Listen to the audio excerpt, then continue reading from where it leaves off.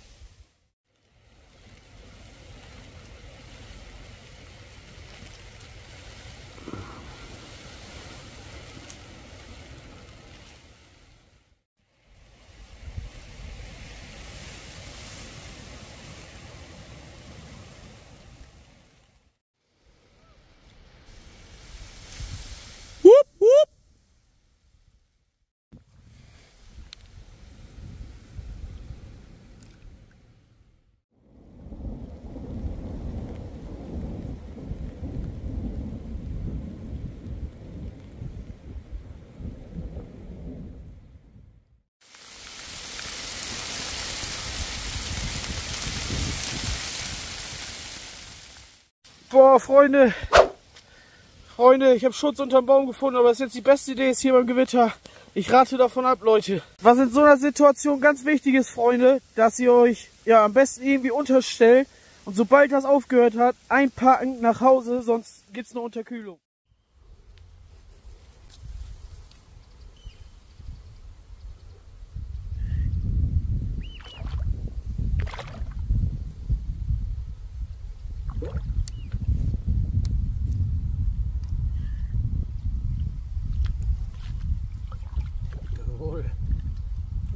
Oh,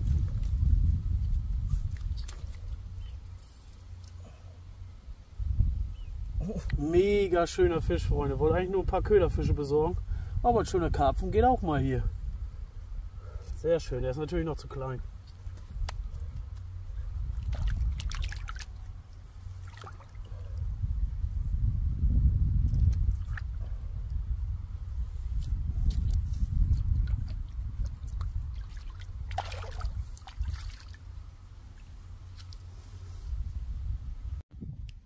Zurück am See, meine lieben Freunde.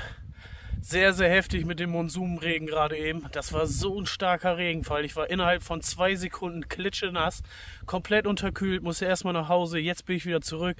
Die Sonne kommt wieder etwas raus, aber es ist sehr, sehr bewölkt und sehr windig geworden. Wird eine schwere Aktion diesmal.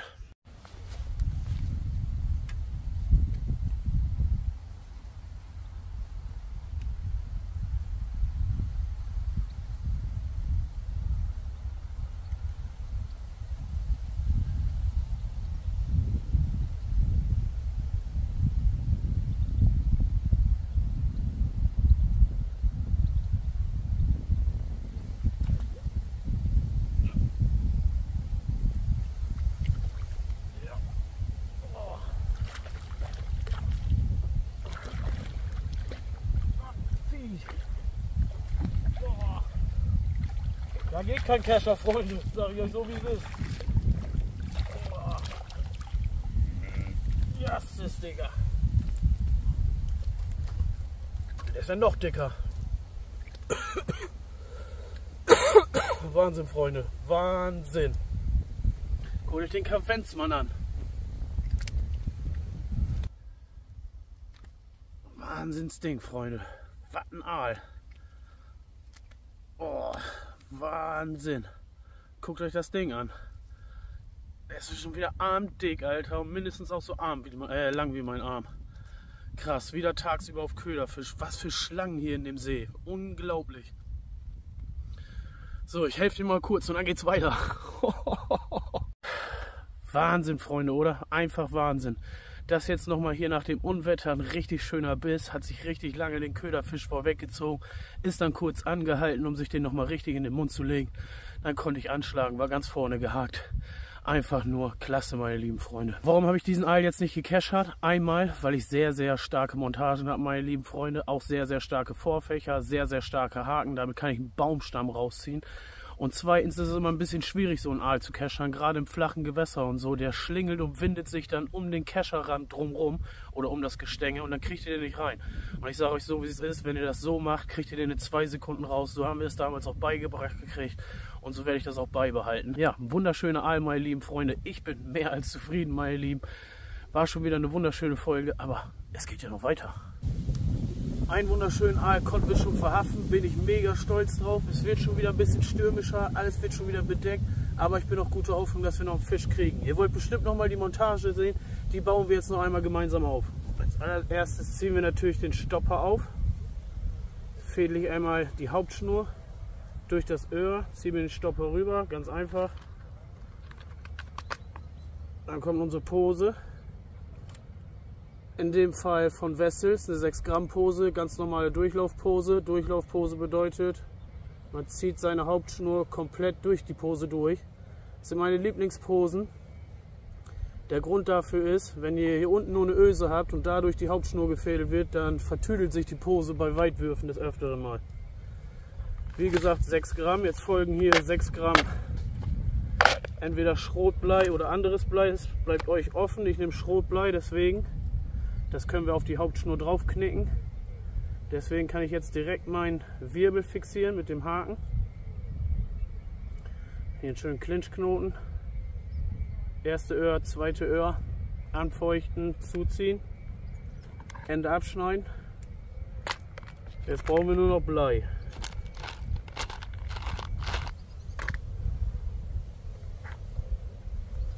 So, die letzten Perlen aufziehen, bis ihr ungefähr 5 Gramm habt, weil der Köderfisch ja noch an der Schnur geknüpft wird.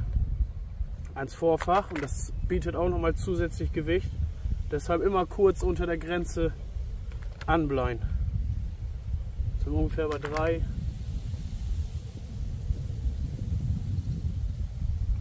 Oh nee.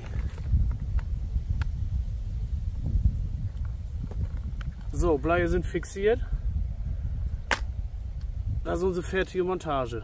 Stopper, Pose, das Gewicht, einen starken Wirbel, 0,30er Vorfach und da drauf einen großen Karpfenhaken. Das ist die ganze Montage. Jetzt warten wir auf den nächsten Biss.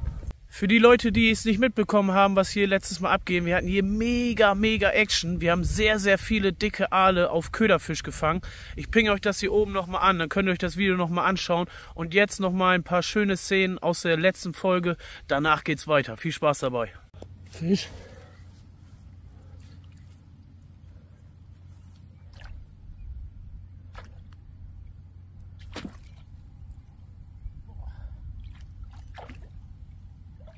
ist.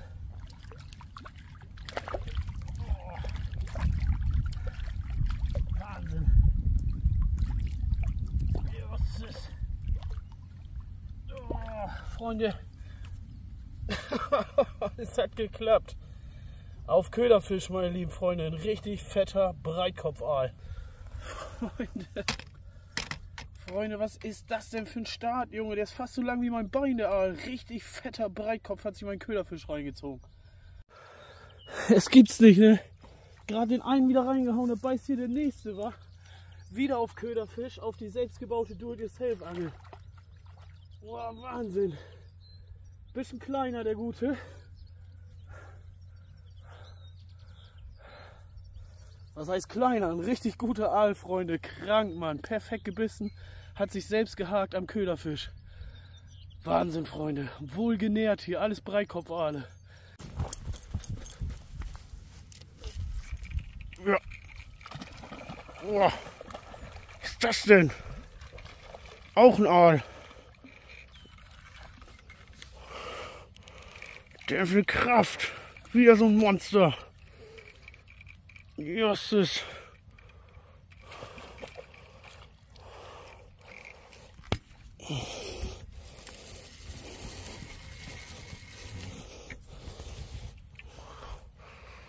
Kreisrund die Route.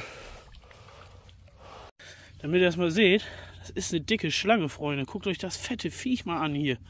Junge, alles auf Köfi, ne? Traumhaftes Angeln. Junge, was sind das für Aale, Junge? Krank, Digga. Alles auf Köfi, Junge. Guckt euch das Monster an, Junge. Digga. Der ist so lange noch ein Bein, Mann. Krank. Freunde, in der letzten Folge habe ich euch ja erzählt, dass ich denke, dass hier ein Wels drin ist, oder besser gesagt, dass wir auf Aal und Wels gehen. Ich kenne den Tümpel ja ein bisschen und ich sehe immer wieder einen großen, ich weiß nicht, ob es ein Raubfisch ist, aber ich denke, es ist ein Raubfisch.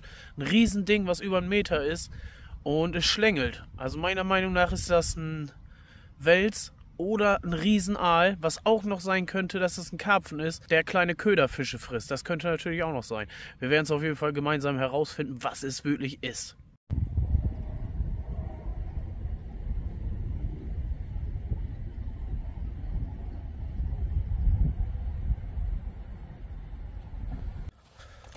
Rote Krumm, Freunde, rote Krumm.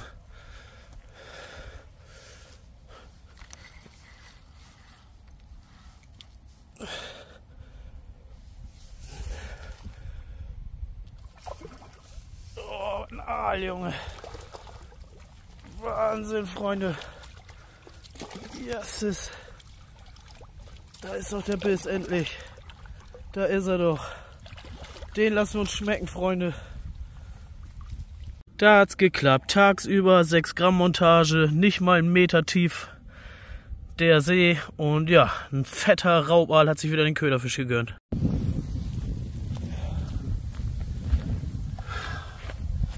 Da hat's doch wieder geklappt, meine lieben Freunde. Wieder ein richtig fetter Breitkopfaal. Hier tagsüber aus dem See mit Köderfisch gefangen.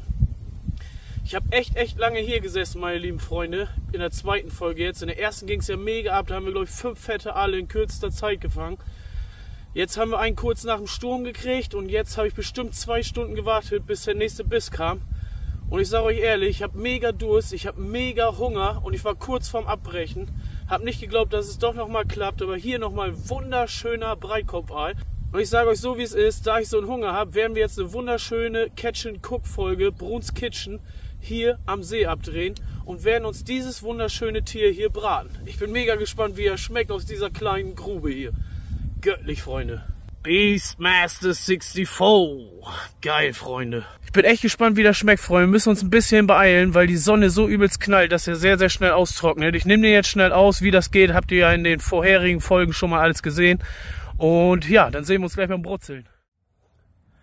Da sind wir wieder zurück in Bruns Kitchen, meine lieben Freunde. Ja, man geht mit, man geht mit einem Gefühl los und denkt sich, wow, heute ziehe ich meinen Plan durch, nehme schön Köderfische mit, tariere meine Posen hundertprozentig aus.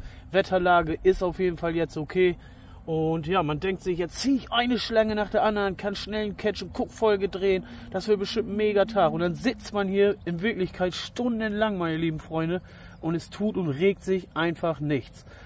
Was man da machen kann, ist auf jeden Fall die vernünftige, die richtige Phase abwarten oder man versucht es an einem anderen Tag bei besseren Wetterbedingungen erneut.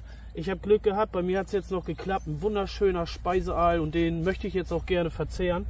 Dafür nehme ich das gute Ding jetzt eben aus. Und sobald ich das gemacht habe, können wir den gleich schön braten.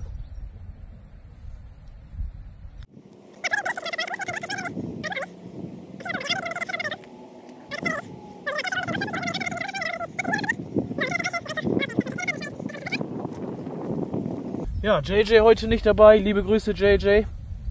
Müssen wir das mal so hilfsbedürftig hier vonstatten bringen, da jetzt kein Kameramann, keine Kamerafrau dabei ist. Aber ich denke, wir kriegen das ganz gut hin. Hier seht ihr nochmal den ausgenommenen Aal, oder besser gesagt den geschnittenen Aal, gleich ausgenommen.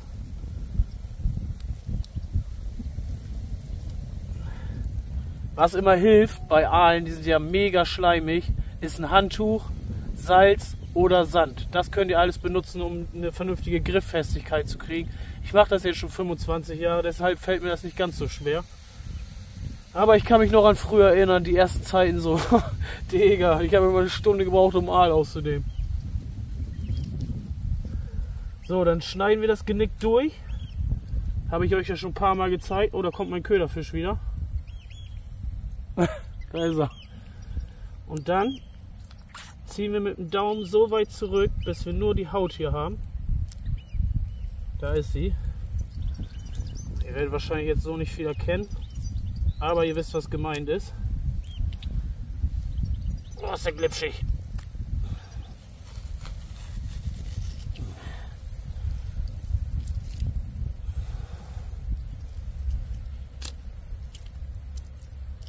Boah, ist der glitschig.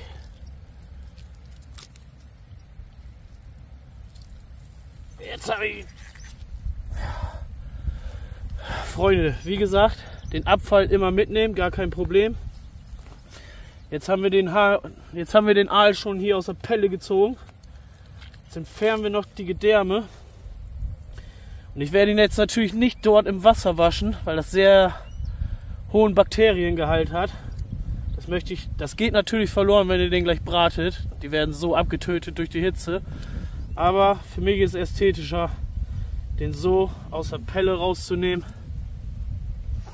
Schneid mir den jetzt in Streifen.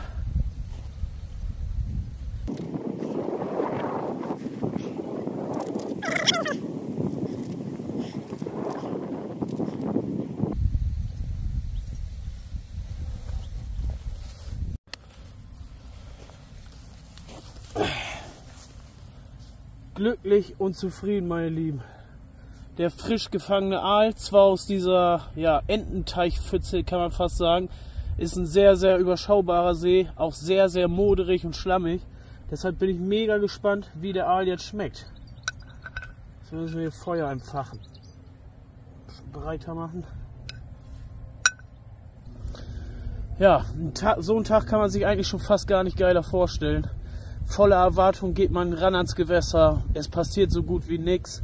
Und ja, dann denkt man sich, komm, ich ziehe noch durch bis heute Abend, vielleicht noch, ja, bis zur Nacht. Dann habe ich auf jeden Fall den einen oder anderen Fisch überlistet, vielleicht ein schönes Video gedreht.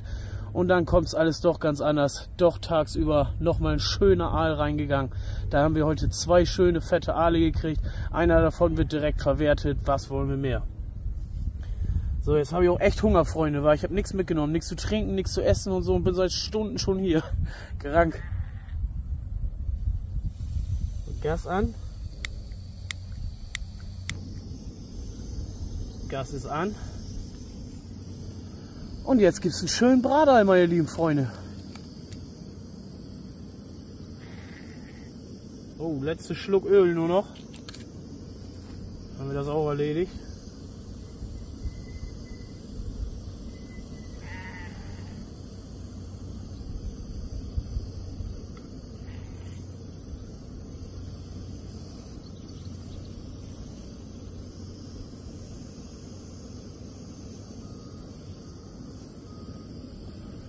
Dann würde ich fast sagen, meine Lieben, oh, guten Appetit.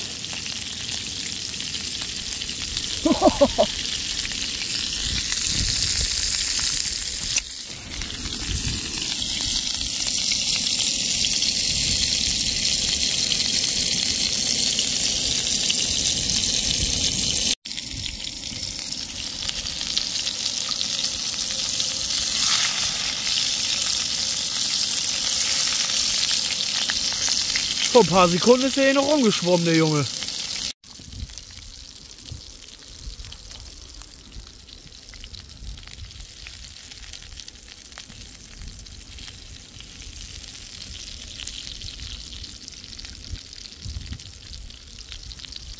Weil es so ein dicker Bursche ist, werden wir den auf jeden Fall ein bisschen länger durchbraten und danach erst würzen. Wenn ihr vorher alles würzt und eure dann eure wenn ihr vorher alles würzt, und eure Stücke dann durchbratet und nicht in einem Zug, dann habt ihr das meistens, dass das Fett verbrennt oder schwarz wird. Deshalb immer danach würzen. Nicht immer, aber fast immer.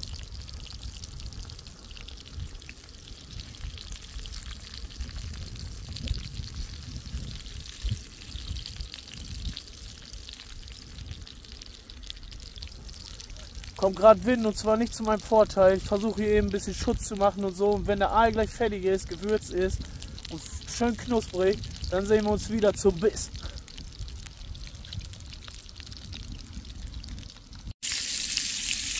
Ja, meine Lieben, so kann das aussehen.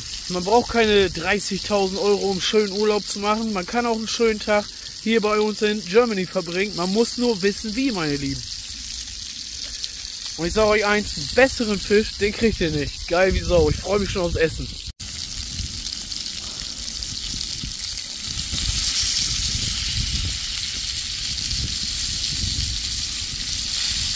Ja.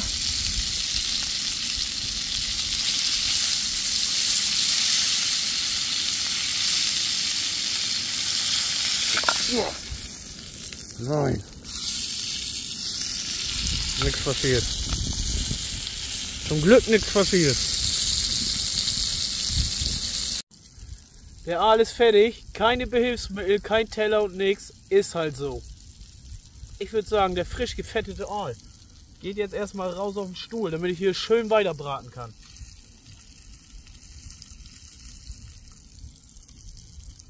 Eins.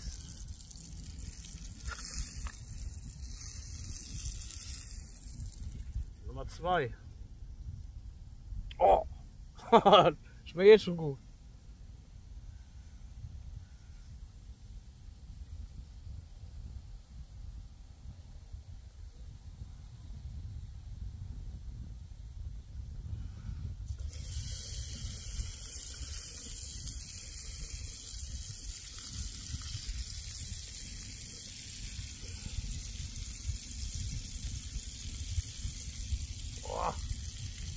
Da hat er so nochmal abgezappelt.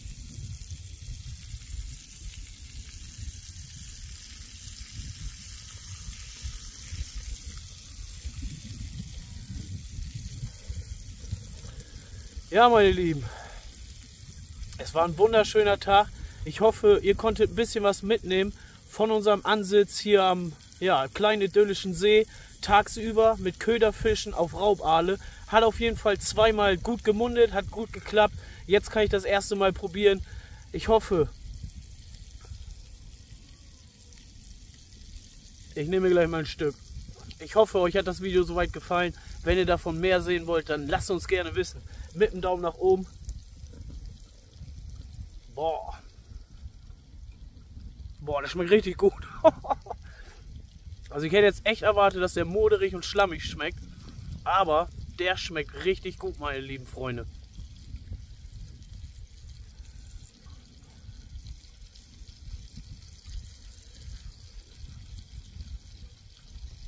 Ja, meine Lieben, ich esse jetzt hier auf jeden Fall noch zu Ende. Ich würde sagen, die zwei dicken Raubale in der zweiten Folge, die haben uns auf jeden Fall gereicht. Wir brauchen nicht übertreiben. Ich möchte ja gerne auch nochmal wiederkommen und wieder ein paar schöne Aale fangen. Deshalb hoffe ich, dass euch das Video gefallen hat. Wenn ja, lasst uns gerne wissen mit einem Daumen nach oben. Schreibt gerne ein paar Kommentare, auch was ihr vielleicht gerne an diesem See nochmal sehen wollt. Vielleicht mal andere Köder, andere Montagen. Da sind unseren Träumen ja keine Grenzen gesetzt. Schreibt es gerne in die Kommentare. Ich hoffe, ihr konntet ein bisschen was von diesem Video mitnehmen. Sehr erfolgreich sind wir auf jeden Fall gewesen. Ich habe euch meine Montagen gezeigt. Ich bin mega glücklich. Ihr solltet auch mega glücklich sein. Wir sehen uns in der nächsten Folge wieder, wenn es wieder heißt Hook On. In diesem Sinne, wir haben euch lieb. Bis dann und tschüss. Ey, Freunde, ne? Jetzt nochmal, wie das so zuletzt immer ist, nochmal einen schönen Fisch und nochmal ein Biss, aber von mir. Ich sag euch so, wie es ist, Freunde. So ein langer, dicker Aal, Junge. Der haut gut rein, ne? Ich bin mehr als satt auf jeden Fall. Ich könnte jetzt so weitermachen. Machen wir aber nicht. Wir haben genug gefangen. War eine wunderschöne Folge. Ich hoffe, ihr konntet ein bisschen was mitnehmen. Ich hoffe, ihr habt Bock auf die nächste Folge. Lasst es uns gerne wissen. Wir sehen uns beim nächsten Mal wieder. Geil. Genommen, richtig schicker war. Maus! Komm, ein richtig fetter Barsch. Weg ist er! Geil, Freund. Fängt das an zu beißen. Ja, wunderbar. Maus, ich bin. Ja! Mhm. Und ja, sind zwei, drei dicke Lachse hinterhergekommen. Ja! Nein! Ich hatte den dicken Zandermaus! Kleiner Zander, Junge.